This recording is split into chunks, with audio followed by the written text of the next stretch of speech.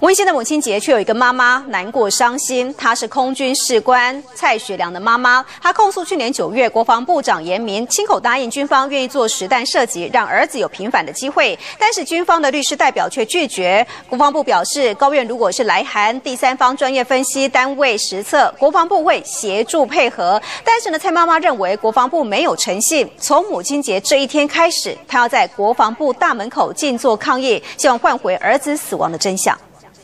其实每一年的母亲节都是我最难过、最伤心的日子，因为我一直等不到蔡香回来帮我去做母亲节。已经第七个年头，儿子不在身边过母亲节了。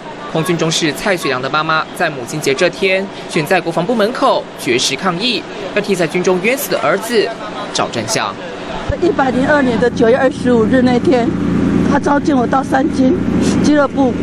他就已经亲口答应我，只要是台北地方法院、高等法院有函文给他们要做，他一定会做。但没想到我们国防部长食人而为，他背信。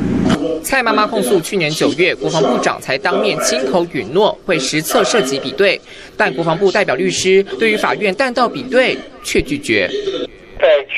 的时候呢，台湾高等法院已经函请了法务部的调查局跟警政署的刑事警察局帮忙做弹道的测试啊。但是因为这两个单位啊，他们基于一些考量的因素，所以他们也函复了，就是他们没有办法能够受理弹道的这个鉴定测试啊。我想就是呃蔡妈妈，也许她可能对这个部分的处理哈，她可能有一些误会。同样也是军中冤案，洪仲秋的舅舅来到现场声援蔡妈妈，这是。洪妈妈，哦，她对自己小孩子没有拿、没有得到公道真相，哭诉。温馨的母亲节，却有伤心的妈妈要用绝食换回国防部长的信守承诺。我的儿子没了，我对他的失联，我每一年这样的失联，我自己也承受不了。记者高博彦、邵三超素台北报道。